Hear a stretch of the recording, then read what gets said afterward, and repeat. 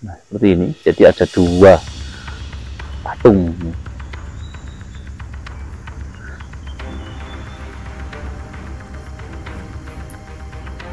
Coba cakra panorama. Nah ini. Di dalam itu kita lihat ada semacam batu. Semacam batu dan ditutup oleh kain putih ya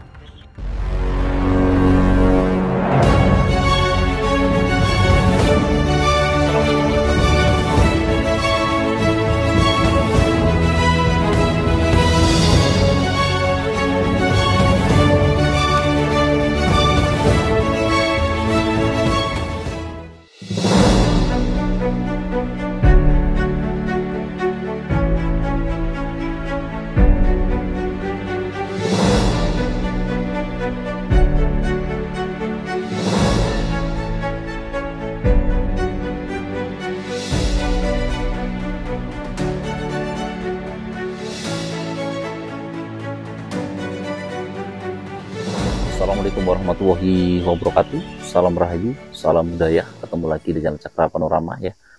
E, Kali ini kami berada di lereng Gunung Arjuno Yaitu tepat di Desa Tambak Watu. E, Masuk Purwosari Pasuruan, Jawa Timur ya. E, Sobat Cakra Panorama. Jadi di sini tuh e, kita berada di Gowo Onto Bugo Nah, di sini uh, ada beberapa situs yaitu di area gua atau di patung naga. Nah, seperti ini. Uh, sebelum kita masuk tadi kok saya lihat ada uh, batu yang unik ya, teman-teman ya. Ada batu yang unik seperti ini. Tadi seperti sisi naga ya, teman-teman ya. Coba cakra panorama. Nah, ini seperti kok saya melihat seperti ada sisi ya nah, atau sebuah batu purbakala ya. Sobat Cakra Panorama bisa dilihat. Nah seperti ini. Ini sebelah pintu dari Gua Onto Bugo coba kita masuk ke dalam. Nah di sini juga eh, masuk ini ya ada lambangnya kostrat ya. Lambangnya kok yes. Iya, kostrat ya. Iya. Kostrat. Ini diperhatikan oleh nah, kalangan kostrat ya. Ya, tentara ya. Tentara Memang Memang ini daerah perbatasan antara Kabupaten Malang dengan Kabupaten Pasuruan. Ya, betul. Tadi ini lokasinya berada di Kabupaten Malang dan Pasuruan. Nah, sebelum kita ke goanya, kita coba ke sini dulu ya, teman-teman. Majapahit Study Club dan Cakra Panorama Mm-mm.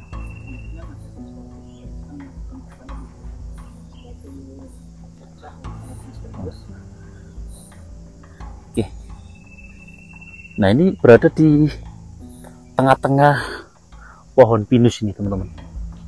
Seperti ini bisa kita lihat di sini.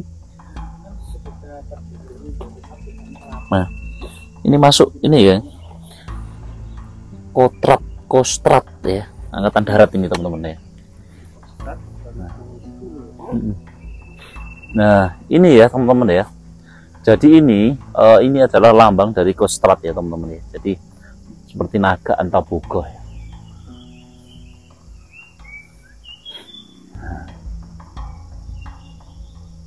Nah, seperti ini. Jadi ada dua patung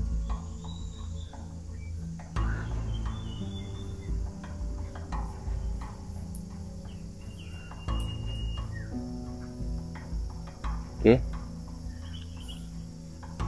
Nah,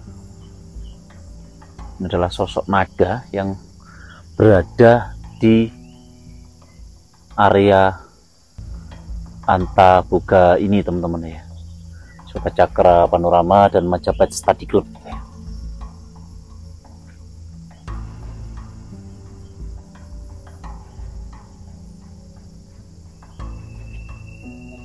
naga menjaga pusaka Trisula ya. Hmm. Menjaga pusaka Trisula.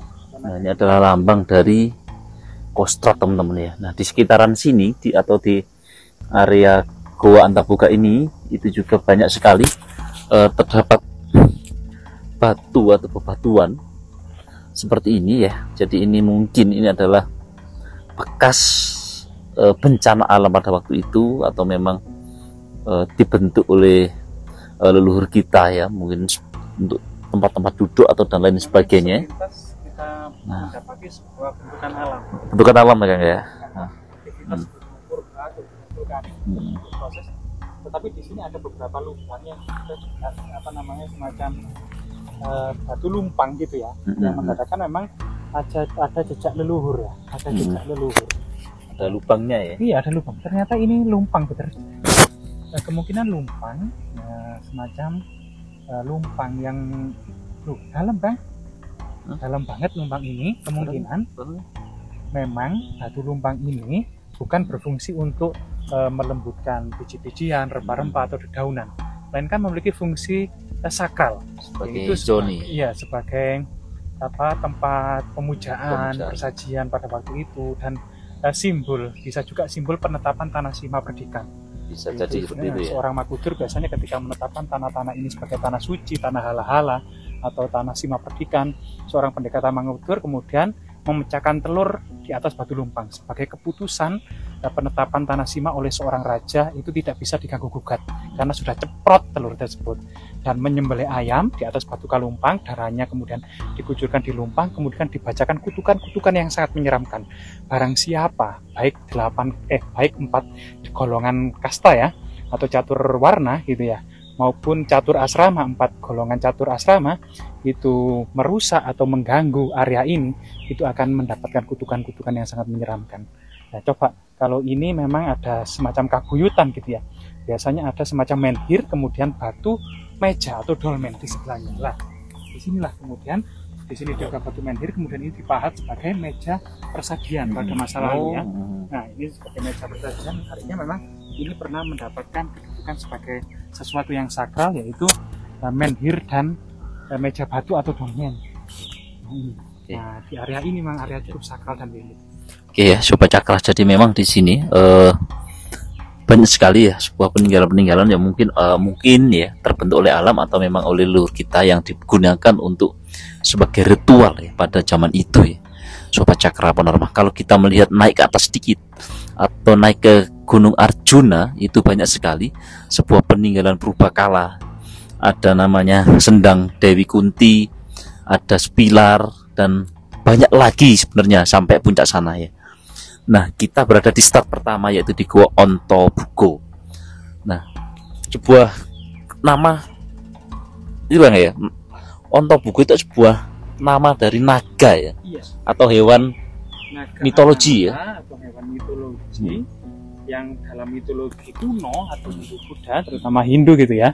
Naga ini adalah sosok naga raksasa yang menopang alam semesta di atas mahkotanya. Iya. Nah, sehingga naga itu menjaga eksistensi alam semesta atau lambang kelestarian dari alam semesta. Nah, ini ini juga merupakan, merupakan filosofi yang positif eh, dari eh, naga adalah penjaga alam semesta, kelestarian alam semesta ini.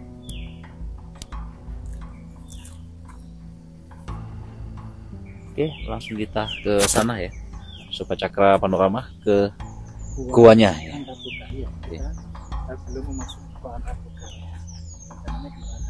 Memasuki yang paling magis ini.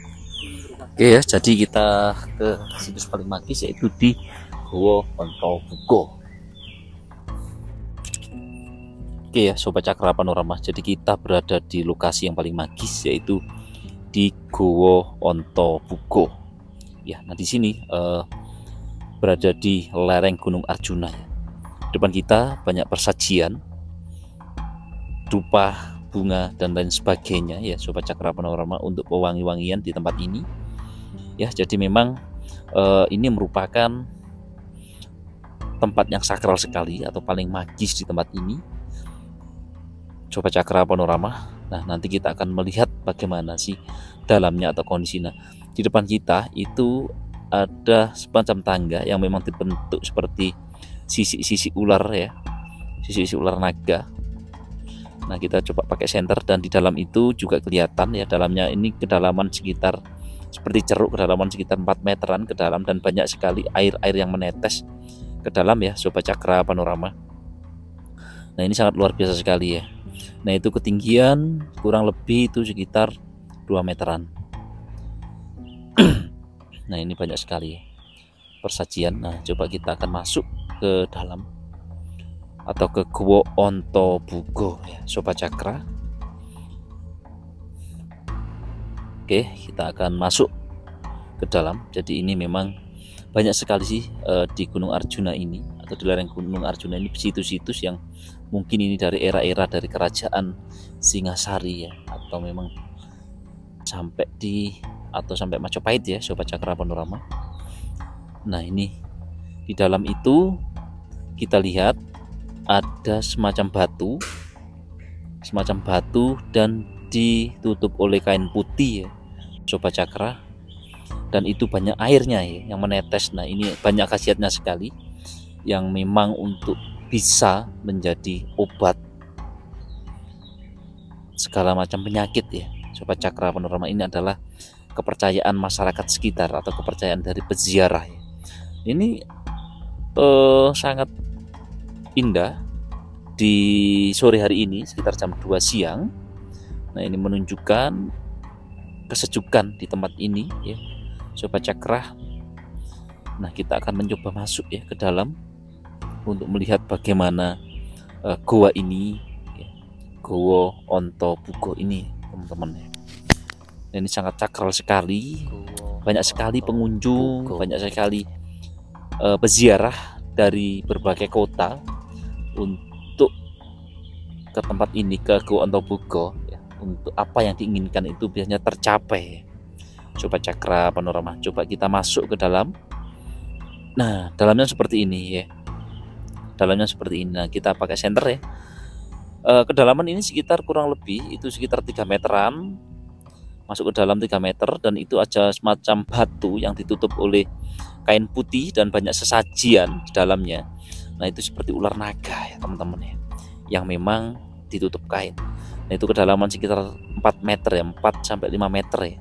Nah, ketinggiannya sekitar satu meter setengah ya. Jadi kita tidak bisa berdiri ke dalamnya, tapi harus merunduk dan kita tidak boleh masuk.